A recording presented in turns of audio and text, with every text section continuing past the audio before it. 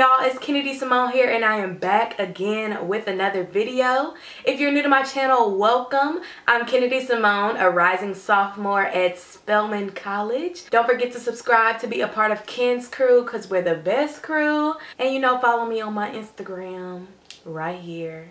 So yeah, I know we're all excited for move-in day. We're hype we're lit, we're anxious, all of that stuff. But first, I'm gonna let y'all know a few things so everything runs smoothly so you won't be too nervous or any of that so you can be prepared, okay? But yeah, definitely comment down below when your moving day is and rep your college down there. Go ahead, spam the comments with your college and when you're moving in and all that kind of stuff. I would love to know and chat with you guys as always. But yeah, don't forget to like this video and we're just gonna get right into this video, okay?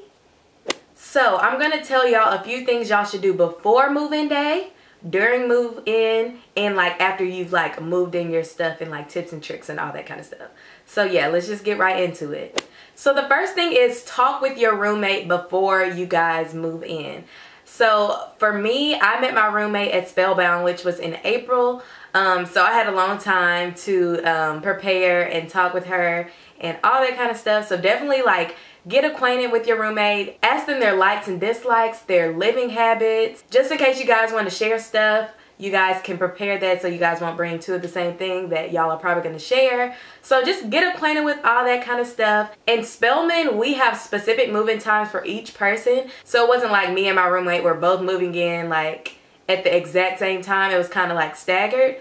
But um, yeah, definitely try to get that where it's like one person moves in and the other person moves in a little bit afterwards just so it won't be like two whole families like trying to move in at once. It gets crowded, especially at Spelman. It's hot, okay, in Atlanta okay? But yeah i would definitely recommend doing like a roommate tag or something. That's what we did just to find out like just random stuff that you wouldn't know to ask. So definitely like look up some like questions to ask your roommate or roommate tag something like that and that should probably help you guys. So the second thing before you move in pack light. I'm definitely going to do a packing for college video coming very soon so definitely stay tuned for that. But i would just recommend packing light buy stuff when you get to your school. Um definitely buy all the essentials and pack like you know your essentials. But like certain things like food buy in your college town. Or if you want to buy things online on the store and like pick them up at the nearest store near your college that works too. I've heard that works really well and you know like there won't be anything out of stock. But definitely try to buy the things that probably will be there just because when you're moving in everybody in college is probably moving in around that area. So things are going to be out of stock. So definitely don't try to wait and buy like major things like your comforter or something like that. Try to just buy snacks and all that kind of stuff. So definitely check out my what you need for college and what not to bring to college videos. I'll put both of them in the iCards right here because you don't need certain things but you do need something. So it's kind of like what are those? So yeah i already have those videos out for you guys. So you guys can check that out after this one. But yeah i got y'all covered. So another thing before you move in i know it helped me out a lot and it probably will help you guys save a lot of time when you're moving in.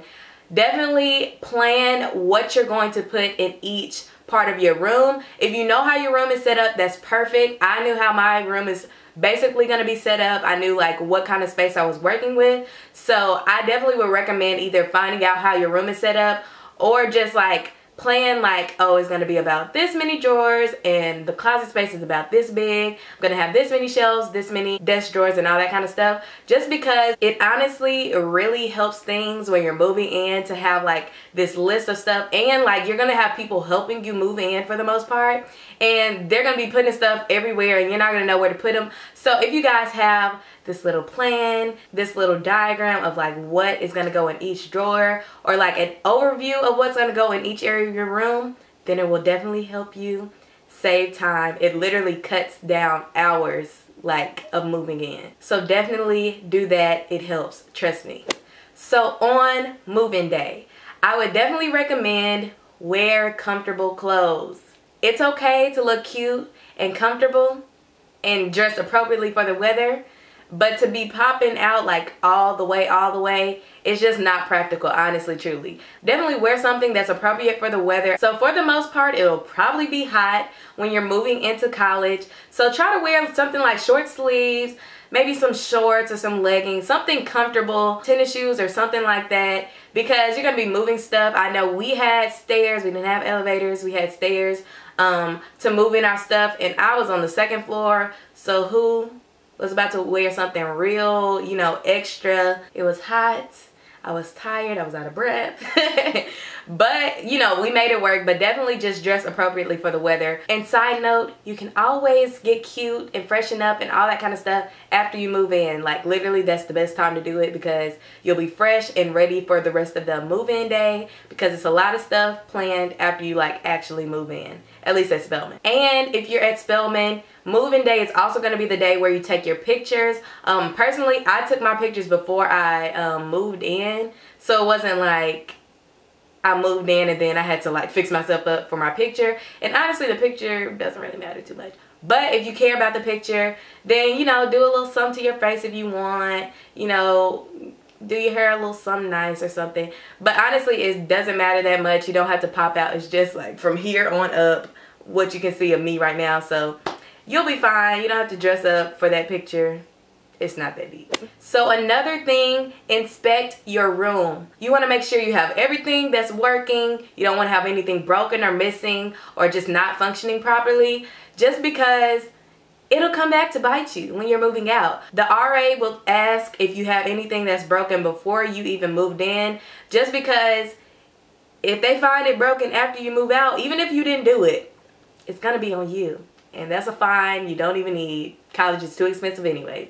So definitely inspect everything before you move in and get caught up in all that mess.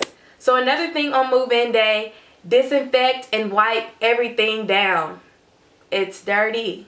You don't want to be sleeping on anything. You don't know where people've been all that kind of stuff. Just try to disinfect your bed for sure. Disinfect like your drawers your desk everything everything. Everything.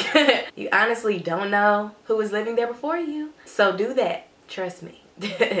So after you move in i would say go grocery shopping. Go shopping for last minute items that you forgot or you need or you planned on getting after you got to college, like I mentioned earlier in the video, it'll probably be packed because pretty much everybody in the AUC moves in around the same time or if you're at another college, you'll probably be moving in with other colleges around the city. Try to have all your essentials beforehand, like I mentioned earlier. But definitely go grocery shopping after you move in so everything is fresh and it's all prepared for you whenever you start your college life.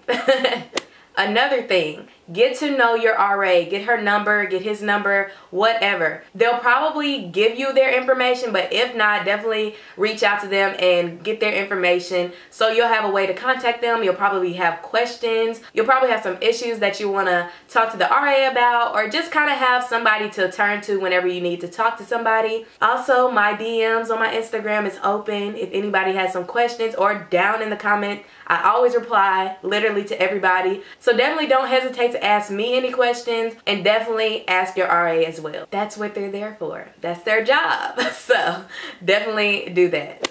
So the last and final thing offer to help your roommate set up their room or offer to help one of your hallmates or your neighbors or anything just because you want to get to know people. So for me, I personally didn't know anybody but my roommate when I was going into college my freshman year, but it definitely helps when you get to know people on your floor or in your dorm in general and definitely your roommate because you want to have a good relationship with your roommate regardless of whether you're like best friends or just like roommates.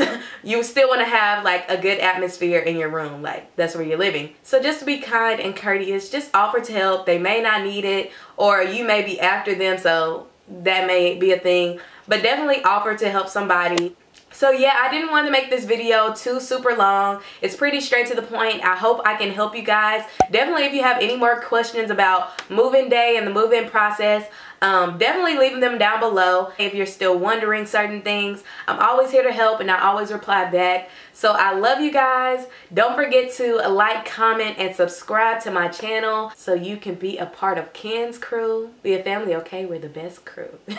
but yeah, that's pretty much all I have to say. Definitely stay tuned for all my other college videos and binge watch all the college videos I have now. I have so many on my channel. So yeah, that's all I have to say. I will see you guys in my next one. Bye.